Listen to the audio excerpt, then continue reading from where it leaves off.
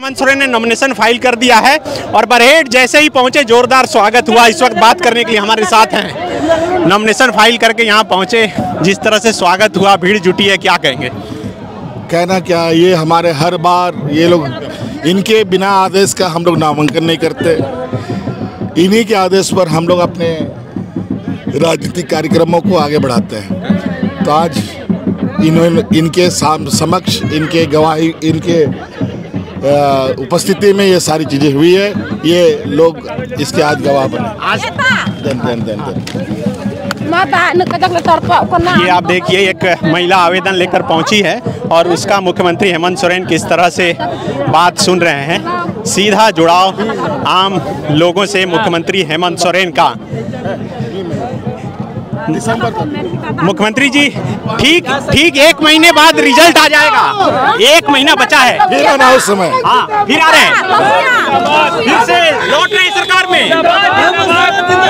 ये लोगों से पूछो।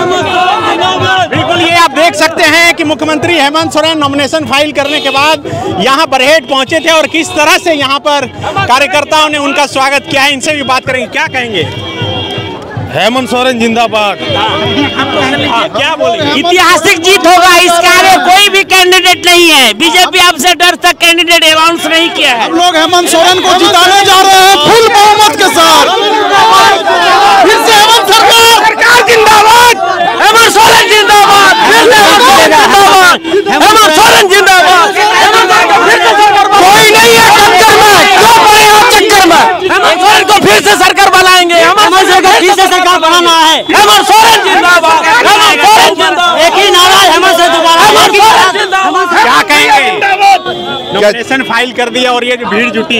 ये भीड़ हेमंत सोरेन को जिताने के लिए यहाँ से मुख्यमंत्री पुनः बनाने के लिए। जीतेगा। ये मुख्यमंत्री का भीड़ है। हाँ। जी।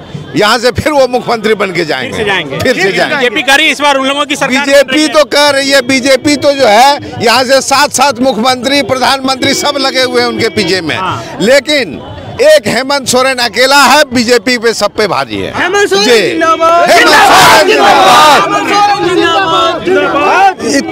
झारखंड के लिए ही नहीं अपने विधानसभा से इतना ज़्यादा काम किए हैं कि वो कभी मतलब आगे इतना आगे ज़्यादा बहुमत मौत से जीतेंगे यहाँ से जो बोला नहीं जा सकता है। हाँ। क्या बोल रहे हैं आप लोग? कहाँ से हेमंत-? हेमंत- के हैं? बरहेट से? बरेट से। आए क्या बोल रहे हैं? क्या होने वाला है इस बार? इस बार जीतेंगे। हाँ। लड़ेंगे और जीतेंगे भी। भारी बहुमत से ही जीतेंगे। जीतेंगे। जीतेंगे। विपक्ष को खड़ा करना वाला नहीं है। विपक्ष का उम्मीदवार नहीं है। उम्मीदवार नहीं है। यहाँ निर्विरोध जीते निर्विरोध चुनाव लड़ेंगे हेमंत सोरेन जी। यहाँ से एकदम बिल्कुल निर्विरोध चुनाव जीत रहे हैं। हाँ क्या क्या बोल रहे हैं प्रमुख जी? हाँ हमारे हेमंत सोरेन अगले बार पच्चीस हज़ार वोट जीते थे। इससे डबल इस बार पचास हज़ार वोट से जीत रहे हैं लोकसभा विधानसभा। पचास हज़ार? पचास हज़ार से ज़्यादा ज़्यादा वोट से। क्या कारण है? कारण यहाँ का विकास है कारण सारा विकास हुआ है। सड़क नहीं था बिजली नहीं था सारा सुधार पानी का सुधार हो गया है। बीजेपी कर रही है बांग्लादेशी घुसपैठ बीजेपी का कहना है चुनाव के समय में ही कहते हैं। बांग्लादेशी कहेंगे कभी बोले बिहारी आ गया है झारखंड में। कहते कहते रह जाएँगे। कुछ होने वाला नहीं है। उससे ये जीत गया ये जी, जीतने का सैलाब है समझ लीजिए। सोरेन तो जीतेगा। बीजेपी कर रही है बांग्लादेशी घुसपैठ कहीं नहीं है गलत है।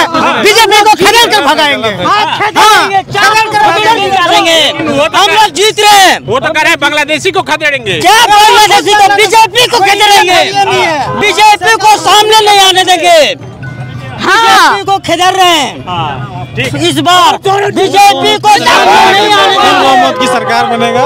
Hemant follow up dot in like share and subscribe in